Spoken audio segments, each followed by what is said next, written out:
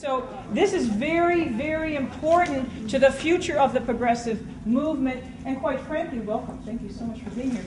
Essential to the health of our nation. If you agree with that statement, give us a round of applause.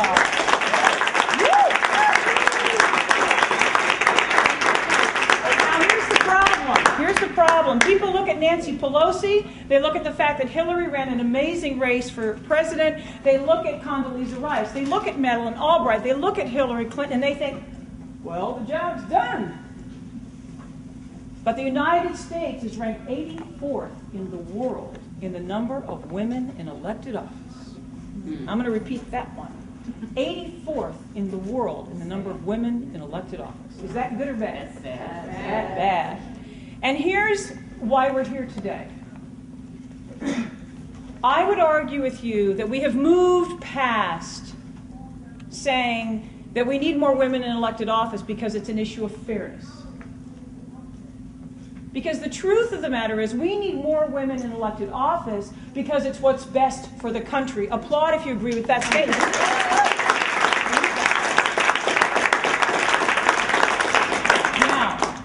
This country, despite having the best hospitals and the best specialists in the world, no one argues with that fact, is ranked 36th by the World Health Organization in the quality of care delivered to its citizens. And that tells it all. Ranked 84th, ranked 36th. When you put a woman in office, what she will fight for is the quality of life of everyday working Americans.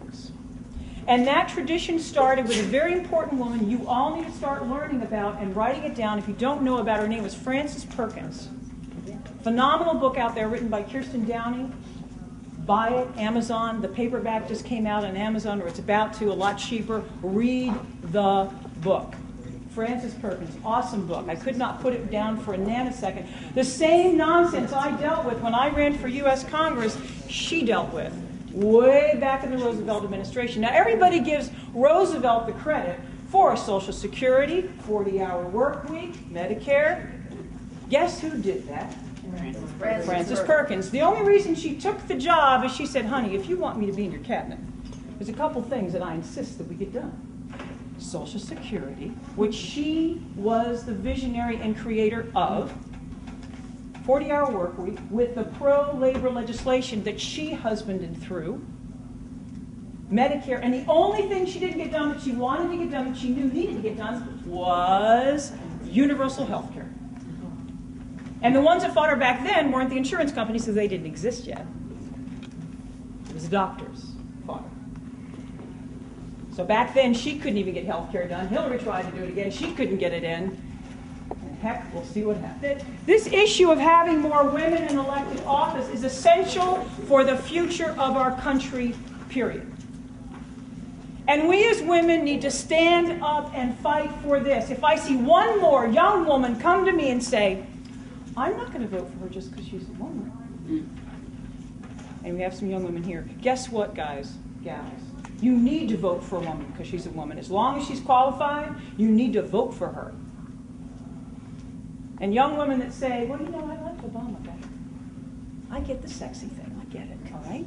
But the truth of the matter is, maybe our young women don't appreciate that the only reason that they work at Citibank and are a vice president of Citibank is because there was a woman before her who was the only woman in that bank who only got that job because of affirmative, action legislation. I'm sorry, guys, that's the truth of it.